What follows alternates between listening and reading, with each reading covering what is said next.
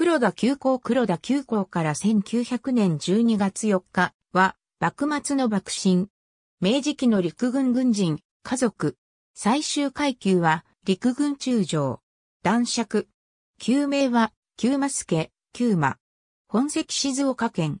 江戸で、幕臣、黒田神左衛門の息子として生まれる。嘉永6年家督を相続。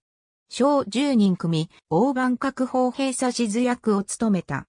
慶応3年横浜で、フランス式の練習を受けて、慶応4年の鳥羽、伏見の戦いで、法兵指図役頭取として参戦した。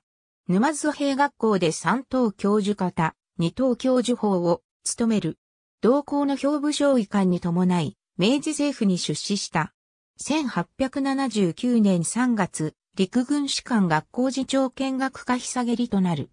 1881年10月、東京法兵交渉ひさげり県法兵第一、方面ひさげりへ移動し、翌年2月、法兵大佐に昇進した。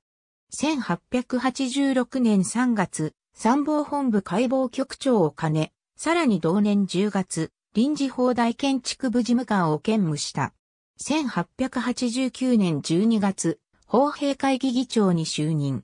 1890年9月、陸軍少将に進級し、翌月、野戦法兵官となった。1894年9月、第一軍法兵部長に発令され日清戦争に出征した。1895年4月、東京湾要塞司令官に就任し、同年8月20日、日清戦争の功績により、男爵を除爵し家族となった。